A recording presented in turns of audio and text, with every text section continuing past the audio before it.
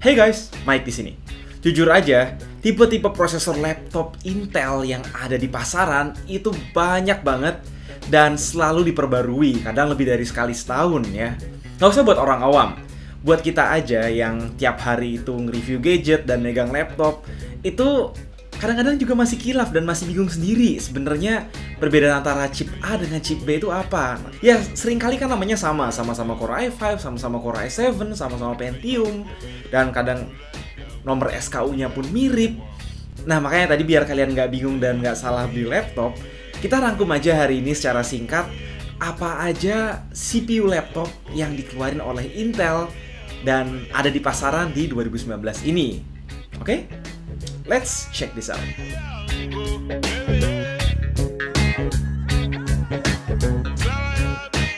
Biar video ini gampang dicerna, kita mulai aja dari yang paling cupu sampai yang nanti paling kenceng prosesornya ya. Prosesor paling cupu yang ada di pasaran yang diproduksi Intel sekarang itu adalah Intel Celeron. Ya, Intel Celeron. Karena untuk Intel Atom sejak tahun lalu pretty much udah hilang dari pasaran ya. Dan Celeron ini tentunya menggantikan Atom untuk laptop-laptop yang benar-benar entry level, untuk netbook, untuk tablet-tablet yang juga murah. Dan Celeron ini tentu cocok buat workload ringan, misalnya kerja kantoran atau sekedar baca PDF, browsing-browsing Facebook. Tapi jangan harap prosesor dual core non hyperthreading ini seperti Celeron itu kuat dipakai main game ataupun edit video atau edit-edit foto yang berat seperti itu. Prosesor Celeron paling basic yang ada di pasaran itu sekarang adalah dari generasi Gemini Lake, arsitektur Gemini Lake. Yaitu contohnya adalah Celeron N4000. Tapi kalau misalnya kalian lihat ada, misalnya masih ada Celeron N3350 atau yang generasi-generasi sebelumnya, itu mending nggak usah dibeli sama sekali karena udah terlalu obsolete untuk tahun 2019. Jadi minimal kalau kalian beli Celeron itu harus udah Celeron N4000. Namun sangat disarankan kalau kalian pun harus beli Celeron karena budget kalian mungkin terbatas di harga 4 jutaan seperti Lenovo IdeaPad S145 itu kalian udah bisa dapat Celeron Whiskey Lake yang performanya dari atas Gemini Lake dengan UHD 10 dan contoh SKU-nya adalah Celeron 4205U dan juga 4305U.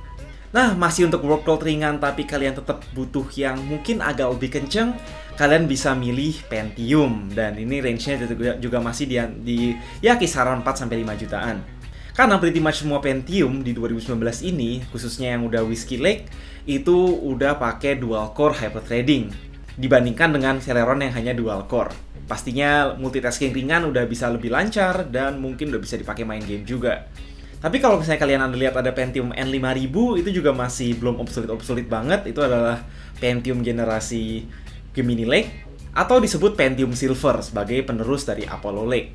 Namun ya seperti biasa disarankan beli yang lebih baru karena tahun ini ada Pentium Whiskey Lake atau lebih umum disebut sebagai Pentium Gold. Salah satu SKU Pentium Gold ini adalah Intel Pentium 5405U. Jadi tadi selain udah dual core 4 thread, dia juga udah pakai UHD 610 yang udah lebih kenceng dari UHD 605 di Pentium N5000. Mulai bisa lah kalau kalian mau pakai main untuk PES atau mungkin untuk CSGO atau Dota 2 rata kiri intinya. Nah, untuk pekerjaan-pekerjaan yang lebih berat atau ya pekerjaan-pekerjaan yang lebih profesional, kalian pingin performa yang lebih, kalian masuk ke kategori Intel Core pastinya. Sebelum masuk core seri U, kita mulai aja dengan core yang paling cupu yaitu core seri Y yang menggantikan core M. Intel Core seri Y ini adalah versi lebih low power lagi daripada Intel Core seri U yang udah low power. Jadi lebih adem, TDP-nya hanya sekitar 5-7 watt aja. Dan biasanya ini Intel Core seri Y ini dipakai untuk desain-desain ultrabook super portable. Contohnya kemarin Swift 7 yang udah di review Rizky itu terlalu tipis untuk memasukkan seri U dan kadang-kadang juga kita lihat ada tablet yang hanya bisa pakai passive cooling. Itu makanya nggak sanggup uh, nampung prosesor 15 watt. Akhirnya dikasih prosesor seri Y yang hanya sekitar 5 sampai 7 watt ini. Cuma balik lagi kalau buat kita ya orang-orang biasa, orang-orang yang ya pingin lebih balance antara performa dan juga penampilan, ini nggak perlu terlalu dihiraukan. Kalian cukup tahu aja. Dan kita cuma mau kalian bisa bedain antara seri U dan seri Y ini. Dan selalu ada huruf Y atau huruf Y di belakang angka SKU tersebut, SKU prosesor. Ya, yang contohnya di 2019 ini yang ada di pasaran itu adalah seri dari Amber Lake. Amber Lake ini adalah seri Y dari Kaby Lake Refresh. Contohnya ada i5 8200Y dan juga i7 8500Y. Dan ini biasanya juga masih dual core 4 thread seperti i3-nya seri U dan GPU yang dipakai itu adalah UHD 617 atau 615 yang performanya masih di bawah UHD 620 yang ada di seri U. Sekarang kita masuk ke Intel Core seri U, yaitu seri core yang paling mainstream di pasaran dan paling juga fleksibel karena merupakan balance antara performa dan juga portabilitas dan daya seperti itu. Dan seri U ini ada hampir di semua segmen laptop. Bahkan beberapa laptop gaming pun masih pakai seri U. Mulai dari yang 6 jutaan sampai laptop 30 jutaan itu ada pilihannya. TDP Core seri U ini adalah 15 watt dengan TDP up to 25 watt yang cukup cocok untuk ngejalanin hampir semua pekerjaan dan multitasking multitasking kecuali untuk misalnya main game berat atau misalnya kerja berat jangka panjang yang terus menerus. Jadi kalau misalnya kalian mau pakai buat rendering 3D yang bisa makan waktu 20 menit, 30 menit, atau bahkan mungkin berjam-jam, ini nggak cocok pakai seri U tetap. Itulah yang membedakan antara core seri U dan juga nanti core seri H yang setelah ini akan kita bahas. Yaitu nggak cocok untuk pekerjaan berat jangka panjang. Di tahun 2019 ini, generasi KB Lake Refresh alias generasi 8 pertama itu udah jarang ada di pasaran, digantikan dengan seri Whiskey Lake U yang merupakan generasi kedua dari generasi 8 ini. Emang agak confusing ya. Itulah kenapa kami merasa perlu dibuat video ini, ya. Kalau misalnya kalian lihat ada stiker Intel Core generasi 8, itu kemungkinannya dua. Kalau nggak kayak Lake Refresh ya Whiskey Lake. Tapi jangan khawatir karena perbedaan keduanya nggak begitu jauh beda. Jadi kalau kalian lihat ada kode prosesor yang belakangnya U tapi sebelum U itu ada 5, ya, 4 digit dan depannya 8, 8 menandakan generasinya, itu adalah seri Whiskey Lake. Ya, Whiskey Lake ini sedikit lebih kencang gara-gara ada boost clock speed dan juga punya integrasi chipset yang lebih baik di dalam chipnya. Dan SKU-SKU yang umum kalian temuin adalah i3 8145U itu dual core 4 thread. Lalu juga ada i5 8256U itu udah quad core 8 thread dan juga ada i7 8565U yang sama-sama juga udah 4 core 8 thread dengan clock speed lebih tinggi. Selama nggak punya dedicated GPU, semua laptop dengan Whiskey Lake ini masih menggunakan menggunakan IGP yang sama dengan Kaby Lake Refresh yaitu UHD 620.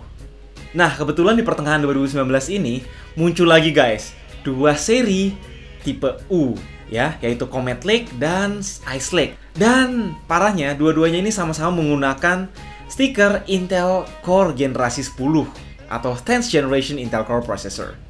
Padahal secara manufacturing Kedua line up chip ini berbeda. Comet Lake itu masih pakai 14 nanometer, sedangkan Ice Lake itu udah pakai manufacturing 10 nanometer yang merupakan penyempurnaan dari Cannon Lake tahun lalu yang sayangnya nggak diproduksi massal di pasaran.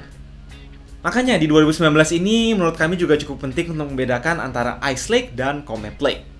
Tapi bukan berarti Comet Lake itu jelek, oke? Okay? Contohnya dengan clock speed lebih tinggi dan memori controller baru, Intel ngeklaim bahwa Comet Lake ini bisa sekitar 15% lebih kenceng dibandingkan dengan Whiskey Lake. Dan saat ini kita masih ngeliat-liat dan juga menguji performa beberapa laptop yang pakai Comet Lake ini. Dan menariknya, ada satu SKU Comet Lake yang i7 itu bukan sekedar 4 core 8 thread tapi udah 6 core 12 thread yaitu SKU Intel Core seri U pertama yang udah pakai 6 core atau di atas 4 core menarik sih. Kita pokoknya tunggu aja tahun ini karena kelihatannya bakal banyak ada ultrabook dan laptop-laptop ultra portable berbasis Comet Lake dan Ice Lake yang akan sangat menarik. Namun, Intel Core 10 Gen pertama yang dapat update besar itu adalah Ice Lake ya. Kalau kalian sempat nonton di Computex tahun ini, kita sempat hands-on Dell XPS 13 2-in-1 yang dalamnya itu udah pakai prosesor Ice Lake dengan GPU Integrated Iris Plus yang baru. Namun sayangnya emang belum sempet uh, ngecek performanya bagaimana dibandingkan Whiskey Lake dan generasi-generasi sebelumnya. Yang penting berdasarkan kode, bedain antara Ice Lake dan Comet Lake itu sebenarnya nggak begitu sulit. Kalau misalnya kalian lihat ada i5 atau i7 terus belakangnya ada angka 10, itu berarti entah Ice Lake atau Comet Lake. Terus bedanya, kalau angkanya itu ada 5 digit dan belakangnya ada U, itu berarti Comet Lake. Tapi kalau 4 digit terus belakangnya ada G4, ada G1 atau G7, itu berarti adalah prosesor Ice Lake. Kalau belakangnya tadi itu ada G4 dan G7, berarti prosesor Ice Lake tersebut punya IGP Intel Iris Plus. Yang mereka klaim kemampuan Iris Plus G4 dan G7 ini mulai bisa bersaing dengan dedicated GPU dari Nvidia atau AMD entry level. Cuma masalah performa antara Whiskey Lake, Comet Lake, dan Ice Lake ini kita tunggu aja pokoknya ya. Kita bakal pantau terus laptop-laptop baru yang akan masuk.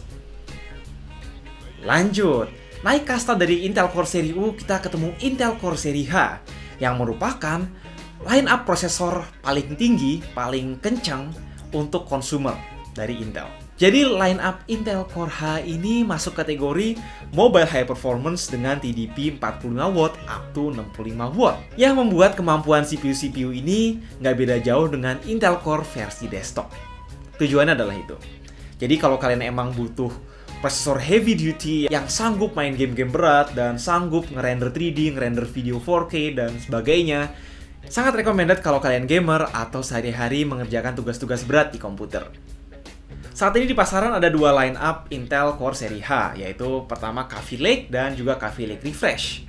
Kalau depannya itu pakai angka 8, itu Coffee Lake. Tapi kalau depannya pakai angka 9, itu Coffee Lake Refresh.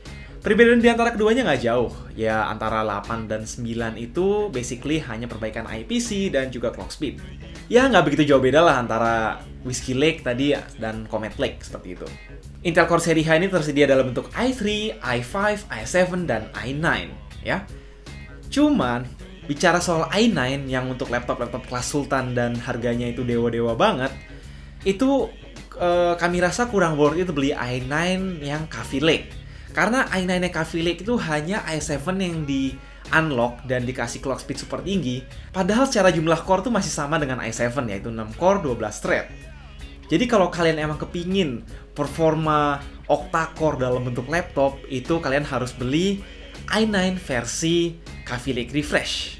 Ya, Contohnya sebulan dua bulan lalu kami review Asus ROG G531 Strix Car 3 yang pakai i9 9980H. Itu udah 8 core, 16 thread, dan contohnya untuk ekspor video lumayan kerasa bedanya dengan i7 yang masih 6 core.